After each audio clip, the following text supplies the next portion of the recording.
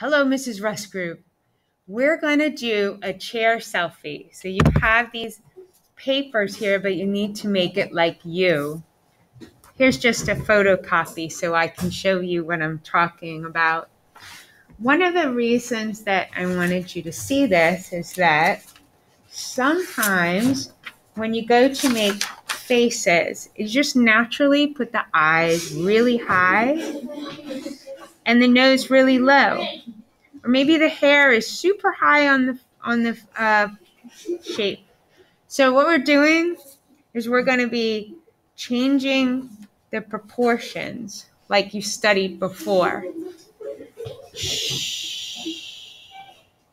Please draw it light so that it erases so easily.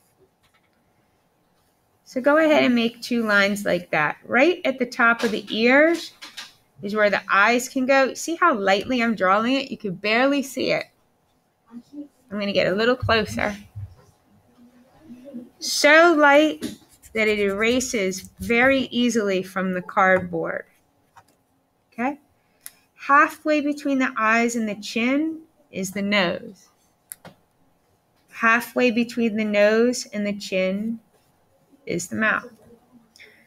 And if you want to, you can look at some of these papers about how to draw the eyes if you want to. You can even draw in emotion. There's examples of eyes, nose, and mouths.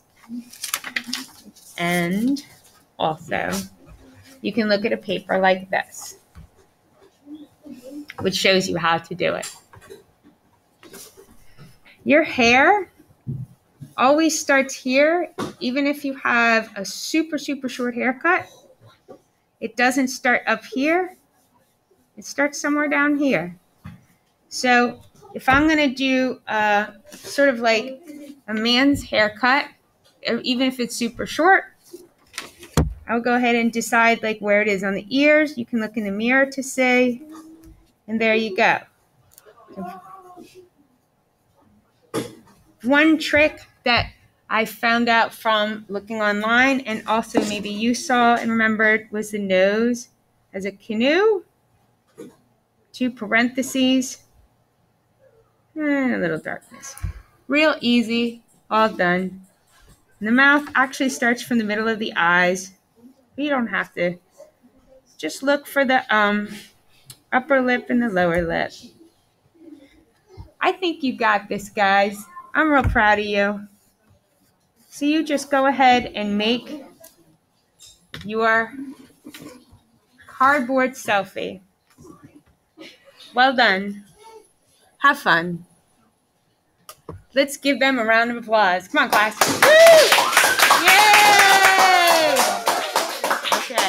Bye bye, Ruskies.